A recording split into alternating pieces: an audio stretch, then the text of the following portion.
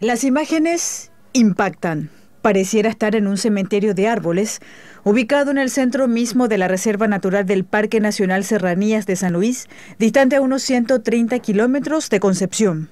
A simple vista en esta toma aérea no se observa el impacto de 700 árboles menos. La tala fue planeada estratégicamente ya que la extracción de los troncos fue de forma selectiva y no quitaron de un solo sitio, sino de diferentes para no ser descubiertos.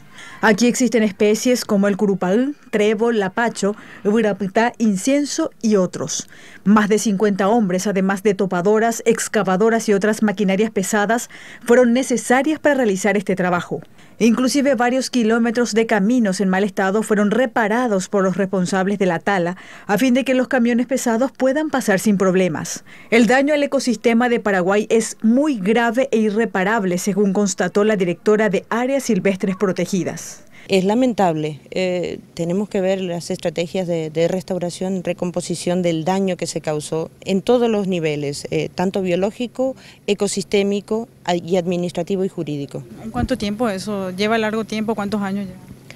Que el área vuelva a tener la misma integridad que tenía, ya no la vamos a ver nosotros, porque lo mínimo que necesita son 50, 50, 60 años.